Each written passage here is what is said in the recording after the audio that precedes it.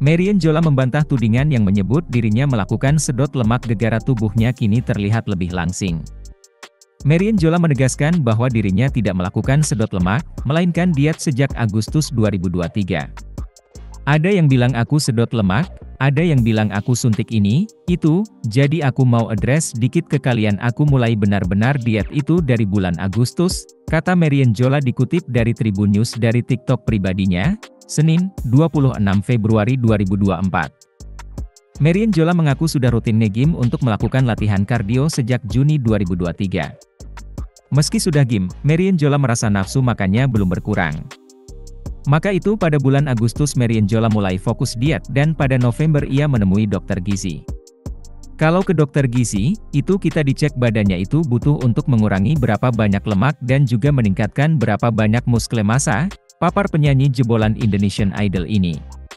Setelah itu, Marion Jola menjaga pola makannya dan rutin berolahraga. Sejauh ini, Marion Jola mengaku telah berhasil menurunkan berat badan sebanyak 9 kg.